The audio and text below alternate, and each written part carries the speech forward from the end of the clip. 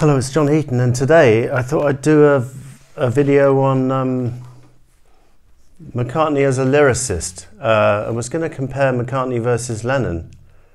That's always an interesting topic. Uh, but I thought, I think they deserve a video in, in them, uh, each to their own, and uh, I'm not going to compare them in a video.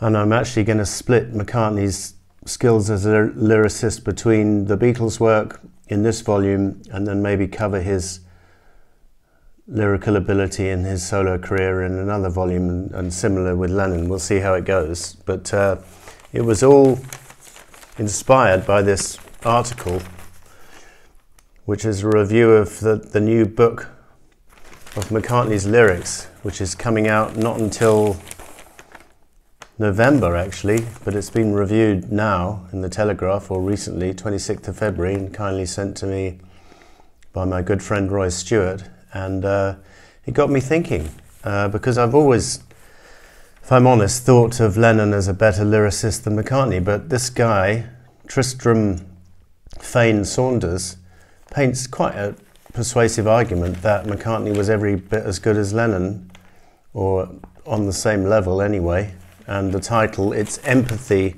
that makes McCartney's lyrics so sublime.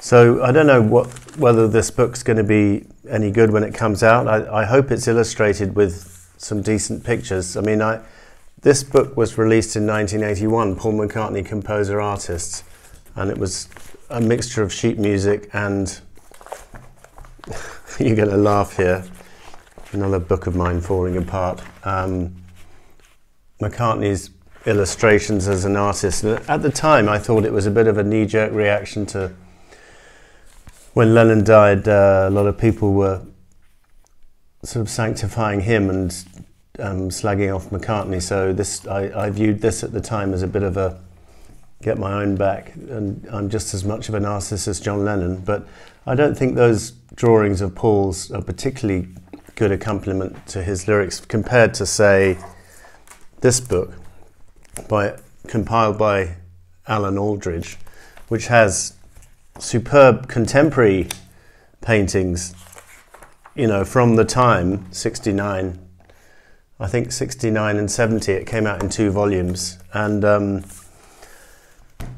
I find this book a lot more satisfying than that Paul McCartney composer artist. We'll see what the McCartney book has in the way of illustrations. But um, just before I get into selecting some of my favourite McCartney lyrics from the Beatles period, um, Tristram Fane Saunders seeks to answer two questions. One, was Lennon a better writer? And two, are song lyrics poetry? And the answers the first one was Lennon a better writer saying no, and the second one is, is lyrics are song lyrics poetry in the affirmative. And I think, I'm not sure about that because if you don't know the music to some of these songs, to listen to the, to read the words cold on the page cannot be, is often not very satisfactory. And I remember being a very pretentious schoolboy uh, in when we were asked to read out favourite bits of literature or poetry in front of the class, I chose I Am the Walrus, and I thought I was being particularly clever reading out those I Am the Eggman lyrics. But shortly afterwards, I felt embarrassed because I, I think those words, although they're sublime in the context of the song, in the cold light of day on the printed page, don't sound very good at all. um, I don't know. Uh, Lennon himself said that Across the Universe was um, the best bit of poetry he'd written. But anyway, this video is not about um, Lennon, it's about Paul. So, using this book, I've selected a few favourites of mine to show you why I think Paul is a very capable lyricist. And the first one I've chosen is I'll Follow the Sun, which was a very early song written when Paul was only 14. And can you imagine a 14 year old's writing, One day you'll look to see I've gone, for tomorrow may rain, so I'll follow the sun. Someday you'll know I was the one, but tomorrow may rain, so I'll follow the sun. And now the time has come, and so my lover must go. And though I lose a friend, in the end you will know I, I think that's pretty decent lyrics for a 14 year old, and I, I think it's pretty accomplished. Um, obviously, yesterday, the early Beatles in general was plagued by what some would call banal lyrics about boy, girl, she loves you, I want to hold your hand. Nothing very sophisticated there, and then Dylan encouraged them to come out of their skin um, and do something more thought provoking. Um, when I guess the first example in that respect is yesterday from the Help album. And um, I'll show you some quotes from Lennon in a minute, but he, even he said that those words work. And if one just reads some of the poetry in the song, it, it is incredibly beautiful, even though one has the tune in one's head one's, one, when one's reading the lyrics. I think even they stand alone as poetry. Yesterday, all my troubles seemed so far away. Now it looks as though they're here to stay. Oh, I believe in yesterday. Suddenly, I'm not half the man I used to be. There's a shadow hanging over me. Oh, yesterday came suddenly. Why she had to go, I don't know. She wouldn't say. I said something wrong. Now I long for yesterday. Yesterday, love was such an easy game to play. Now I need a place to hide away. Oh, I believe in yesterday. I think it's a masterpiece, and uh, it was rightly lauded at the time. Um, and then from the following album, Rubber Soul, from the same year, 65, Michelle, very sophisticated use of French, which was must have been ahead of its time. I don't think any English rockers had um, used uh, Michelle Mar- ma belle, which is French for my beauty. These are words that go together well. Uh, Michelle Marbel sont les mots qui vont très bien ensemble, which is the straight French translation for these are words that go together well. I think he got help from that from someone. But it, either way, I, I know Lennon contributed to the song and maybe to some of the lyrics, uh, but I think it's a very touching love song and out of the ordinary compared to their earlier work. Paperback Writer, the great example of the third person song, which Lennon was always slagging off, saying, Paul's always writing these songs about traffic wardens or, or uh, mythical characters, and I prefer to write about me because I know me. And he was slightly derogatory when he said that um, in 1970 in the Lennon Remembers interview. But Paperback Writer, when you look at it, look at it as a piece of poetry, I think it's quite it's quite moving. You know, dear sir or madam, will you read my book? It took me years to write. Will you take a look? It's based on a novel by a man named Lear and I need a job and I want to be a paperback writer. It's a dirty story of a dirty man and his clinging wife doesn't understand. His son is working for the Daily Mail. It's a steady job, but he wants to be a paperback writer. I think it's uh, it's pretty sensational um, as a song, and the lyrics are decent. Eleanor Rigby is always acclaimed as one of McCartney's masterpieces, and there's some controversy about how much John contributed.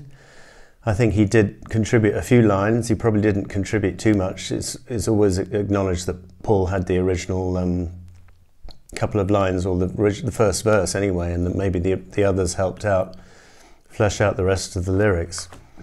But um, just stunning lyrics, you know, it, albeit about a completely mythical third person. Eleanor Rigby picks up the rice in the church where a wedding has been, lives in a dream waits at the window, wearing a face that she keeps in a jar by the door. Who is it for? I think it's absolutely brilliant. And um, the main conclusion I've reached, encouraged by this article here in the Telegraph, is that McCartney, whilst the band were together, was coming out with lyrics as good as Lennon's. I've always up until a few years ago, at least, I always thought Lennon was the superior lyricist, and I think still think he's the more consistent and the more interesting in general. And Paul's songs sometimes veer towards the uh, the more sentimental, particularly in his solo career. But I think when the Beatles were together, even a sentimental song like "Here, There, and Everywhere," I mean, who can write lyrics like? Um, to lead a better life, I need my love to be here here, making each day of the year, changing my life with a wave of her hand. Nobody can deny that there's something there. there, running my hands through her hair, both of, both of us thinking how good it can be. Someone is speaking, but she doesn't know he's there. I want her everywhere. And if she's beside me, I, need, I know I need never care. But to love her is to need her, meet her everywhere, knowing that love is to share. I think it's just absolutely brilliant. Um, and I've picked a few. Again, all, all of these songs are really well illustrated in this book. And I think it's the most successful combination of lyrics and pictures ever released in connection with the Beatles. Good Day Sunshine, I, Good, Good Day Sunshine I picked from Revolver because it sums up the optimism of 66. You know, that's great summer when uh, England won the World Cup football and Beatles were releasing Revolver. Can you think of a much better summer than that? And uh, we take a walk, the sun is shining down burns my feet as they touch the ground. Just a wonderful um, line to express happiness. Um, in contrast, for no one, although not written about a breakup that he knew about, because him and Jane Asher were not to split up for another two years almost after this song, but for a 24 year old to write such a sophisticated love song I was speaking to my son Tommy, and he thinks this is McCartney's best lyric. Um, your day breaks, your mind aches. You find that all her words of kindness linger on when she longer, no longer needs you. She wakes up, she makes up, she takes her time and doesn't feel she has to hurry. She no longer needs you, and in her eyes you see nothing. No sign of love behind the tears, cried for no one.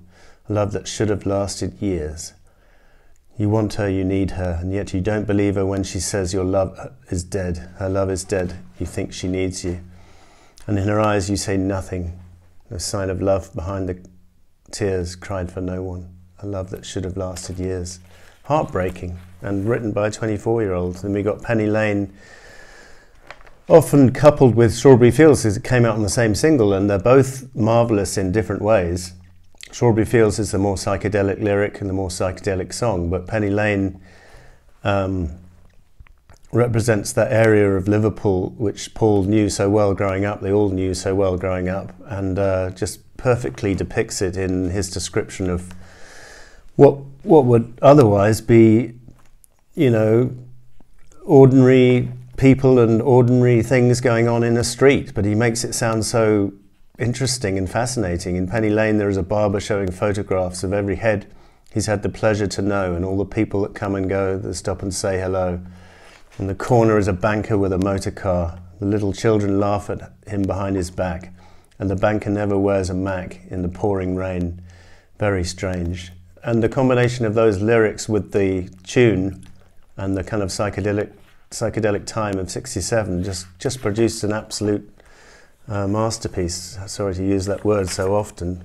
Our next example I've got is She's Leaving Home, and I think John might have had something to do with the lyrics in the chorus. Um, but again, it's a song written about an everyday um, human situation where a, a young daughter leaves home and falls out with her parents and goes chasing after some man, and the parents are distraught that she's left home.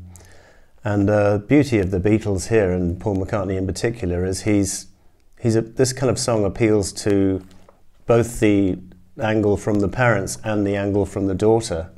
And I, I think it's pretty rare for, for a song to do that. So it starts off, as I say, pretty mundanely with description of Wednesday morning at five o'clock as the day begins, silently closing her bedroom door, leaving the note that she hoped would say more she goes downstairs to the kitchen, clutching her handkerchief, quietly turning the back door key.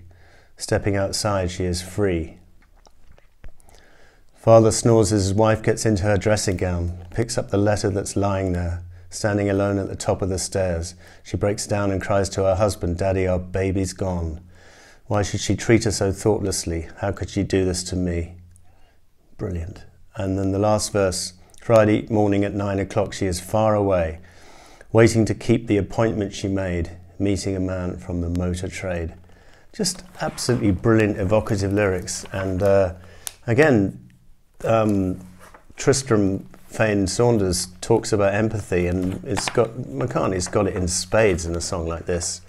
just representing everyone's viewpoint. Uh, Fool on the Hill from 67, uh, same year, a song about loneliness and uh, the outcast, you know, and just just thoroughly perceptive and wonderful in its execution, day after day, alone on a hill. The man with a foolish grin is keeping perfectly still. Nobody wants to know him, they can see he's just a fool. And he never gives an answer, but the fool on the hill sees the sun going down, and the eyes in his head see the world spinning round. I think that stands alone as poetry, in my view. By the way, I'm going to do a separate video on George Harrison's lyrical capabilities as well. I'm not going to leave him out. Um, might do one on Ringo as well, I'm not sure. But um, just to continue our journey through the 60s, we got Lady Madonna, which was, people speculated, was it about Mother Mary, Mother of Jesus, or was it about a prostitute, or who was it about? But uh, wonderfully um, good lyrics. I'm not sure how to interpret them myself, to be honest. Lady Madonna, children at your feet. Wonder how they manage to make ends meet. Who finds the money when you pay the rent? Did you think that money was heaven sent? Friday night arrives without a suitcase. Sunday morning creep in like a nun. Monday's child has learned to dye his bootlace. See how they run. Just uh, amazing.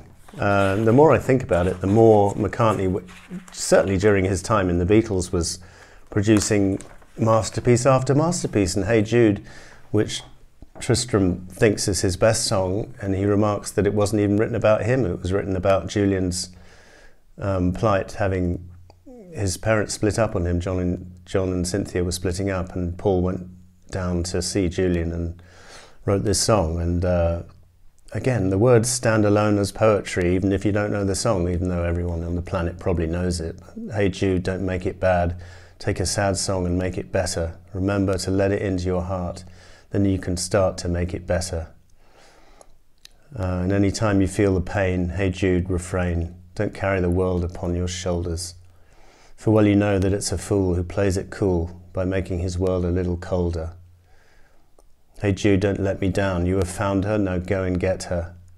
Remember to let her into your heart, then you can start to make it better. I mean, that song's been hopelessly overplayed over the years and by Paul in concert. But when one returns to the original song, sees the original lyric on the printed page, here it is in this book. And here's the original Beatles version. One never gets tired of it, or I don't anyway. Back in USSR is another huge song from Paul at the time, successfully mim mimicking the Beatles, the Beach Boys sound and doing a better version than the Beach Boys themselves. Uh, Blackbird is another classic from that era, the White Album. And I don't know if it was about civil rights or whatever, but it's whichever way you look at it, it's a song about someone struggling for freedom. Blackbird singing in the dead of night. Take these broken wings and learn to fly all your life. You were only waiting for this moment to arise. Blackbird singing in the dead of night. Take these sunken eyes and learn to see all your life. You were only waiting for this moment to, to be free. Blackbird fly, Blackbird fly into the light of the dark black light night. Blackbird fly, blackbird fly into the light of the dark black night. I just think it's absolutely beautiful, and uh, we've got other numerous other examples I, I can talk about. I'm going to just mention you, you, Never Give Me Your Money from the Abbey Road album, which is a kind of uh, combination of several songs together. Starts up starts off by being a lament about Allen Klein, the business situation, but then soon transforms itself into a song about freedom. Out of college, out of college money spent, see no future, pay no rent. All the money's gone, nowhere to go. Any job I got the sack, Monday morning turning back. Yellow lorry slow, nowhere to go. But oh, that magic feeling, nowhere to go. One sweet dream, pick up the bags, get in the limousine. Soon we'll be away from here. Step on the gas and wipe that tear away. One sweet dream came true today.